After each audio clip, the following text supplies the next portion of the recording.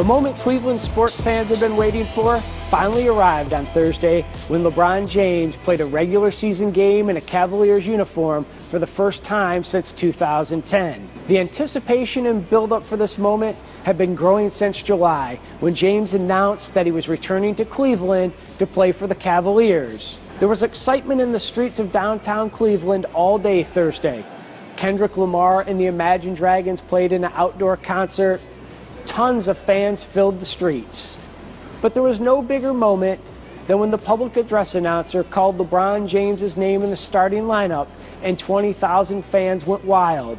LeBron James is finally home again. However, the New York Knicks put a damper on the evening, handing the Cavaliers a 95 90 loss. It was not LeBron James's best effort either. He was 5 of 15 from the field and also had 8 turnovers. And if you know anything about LeBron, committing turnovers is one of his pet peeves.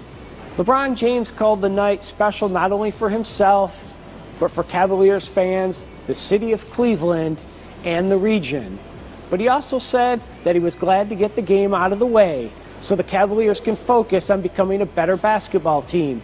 And it's clear that this team that does not have much experience together needs to get better. They get that chance on Friday night when the Cavaliers travel to Chicago to play the Bulls, who are not only a Central Division rival, but expected to compete with the Cavaliers for the Eastern Conference Championship. LeBron James was right.